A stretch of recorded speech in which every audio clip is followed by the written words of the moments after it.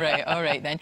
You've had a fantastic weekend with one of the, well, she has to be one of the most wonderful people on the planet. I love this woman. The woman who's got my favourite quote, it costs a lot to look this cheap.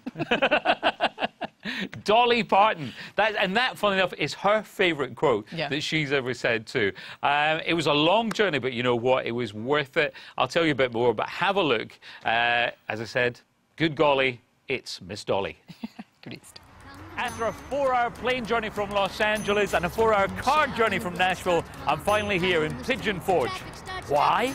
Because I've come to meet up with Dolly Parton. Where else? Dollywood. Working nine to five, what a way to make a living. Barely getting by. It's all taking and no giving. They just How are you? Good to see you. Oh, lovely to see you. Thank you. You look just stunning. Well, thank you. I got my own high chair. Now, I've got to be really honest here. The minute I told people I was coming to see you, they all went, "We love Dolly Parton." You get that all the time. I've been around a long time. I think uh, people feel like they know me. Yeah. 'cause, Uh, you know, I've been at this since I was just a kid, and of course, all over the UK. My records have been doing good there for years, and I've been there many times, so we're kind of like old friends. Now, what about the rides? You get a chance to go on any of them? I don't do the rides because I always say I have too much to lose, like my hair and my reputation. You got a new movie coming out in the UK, Joyful Noise. It's a great movie. Well, I know I was so happy to do that movie. Of course, working with Queen Latifah and this wonderful cast.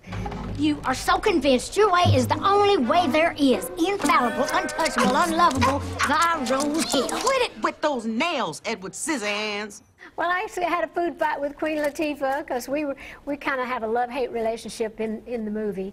We actually got along great behind the scenes, but it was fun because I got to really zing her with some biscuits and throwing things at her, and so it was it was fun. You do look brilliant. So, do you have like a workout regime? Uh, not really. I've never been one to do a lot of physical exercise. I've been blessed with a small waist, and then of course I do whatever else I need to to look good. I always say if I have a nip and tuck here and there, so what? You know, most people do. And at my age, if I need little things done now and then, I just do it. From your point of view as well, is there, is there a chance to be private too? Well, nobody can be alone all the time. I mean, I, I enjoy it when I'm out in public and when I'm out there in the public. I belong to the public, and I, if I go to a party, I have a good time. But preferably, I'd rather, you know, I'd just rather be uh, at home. And I, I'm very close to my family. A lot of little nieces and nephews. We do a lot of babysitting, a lot of fun things that we do. So I'm, I'm very private.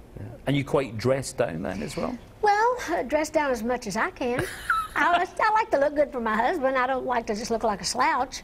I don't want him to get the worst of everything. So I try to, you know, tidy up a little bit. I put on a little makeup every day and, you know, fix my hair a little bit. But I don't just totally go out and sleep in rhinestones with my husband. So many different talents that you have. And I've often heard your fans say, what about politics? what about it? I hate politics. Is that the answer? That's the no answer. way. I always hear. But somebody said, "Well, would you ever consider running for president here in the states?" And I said, "No, I think we've had enough boobs in the White House, so it's kind of like, no, I don't think so." Ah, the script from nine to five. Now, now, another myth that I want to ask you about. Did you really write the song on the set of the movie and did you use your nails? I did. You Yeah. have to have acrylic nails. They Uh-huh. have to make a noise. But it sounded like a typewriter to me, Uh-huh. and I wanted to get the feel of what the show really was. So every day I would write a little piece of the song. I would go back at night and get my guitar out and sing. But actually, through the day, I would just do this. I'll play into the right one. You play to the left. one. Okay, that's, that's stereo. Been working nine to five. What a way to make a living. Barely getting by. It's all taking and no giving. They just you. Boy, we got rhythm, ain't we? Is that what we call it? Let's go on tour. Oh, Ross, that was fantastic. I want to live in Dollywood. I want to just live there. Oh, and you know, the other thing is that um, she congratulated Gary Barlow on his OBE because Gary would like to write with her. And she doesn't write with many people. She wrote with Mac Davis, the guy who wrote In the Ghetto and uh, A Little Less Conversation. Yeah. But she said she liked the idea with Gaz. So who knows? Try and put that good. together. Yeah, that sounds fantastic. Ross, thank you. That was absolutely brilliant. Really enjoyed that. She's Thank a you. great lady. Thank you.